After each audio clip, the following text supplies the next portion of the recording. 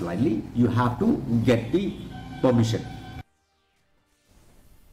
Deputy Chief Minister Preston Tynsong has assured protection to migrant workers of construction companies engaged in various projects, including those managed by National Highways and Infrastructure Development Corporation Limited, but at the same time asked the companies to comply to the Meghalaya Migrant Workers Act and ensuring that migrant workers possess the labour license to avoid disturbances and hindrances in the ongoing works.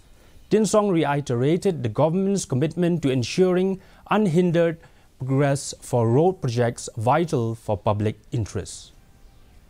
I, have already given the instruction to all the district administration. Be firm, do it, any, any incident, any kind of disturbances, as I said to you, especially at site, in those places, in those projects which is undertaken, please make sure that safety, security of the laborers is intact.